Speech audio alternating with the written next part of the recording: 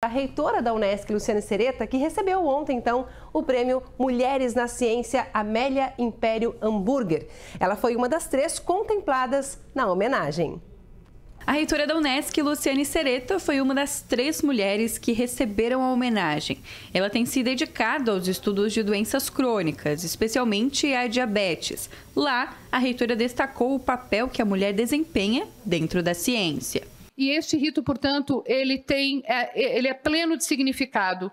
Primeiro, porque ele no, para o meu caso, ele traz é, essa oportunidade de mostrar o trabalho que as mulheres cientistas podem fazer. Elas são corajosas, elas têm um sentido absolutamente aguçado, elas são imponentes, muito competentes e fazem com excelência aquilo que fazem.